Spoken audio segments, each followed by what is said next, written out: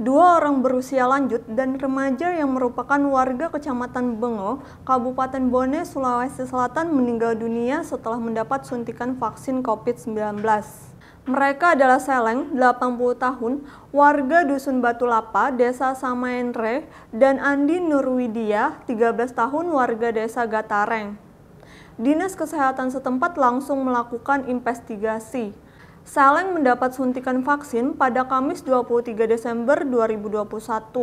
Kemudian kondisi kesehatannya langsung menurun. Seleng meninggal dunia pada Sabtu 25 Desember 2021. Sedangkan Andi dikabarkan meninggal dunia setelah mendapatkan vaksin kedua di sekolahnya.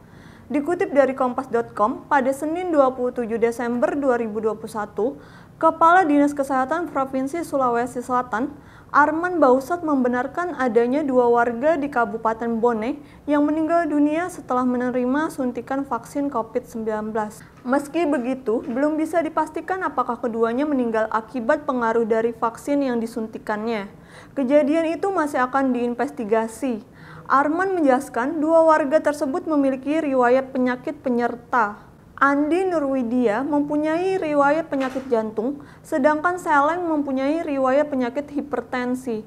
Arman berharap kejadian orang meninggal setelah disuntik vaksin ini tidak menyurutkan masyarakat untuk mengikuti program vaksinasi.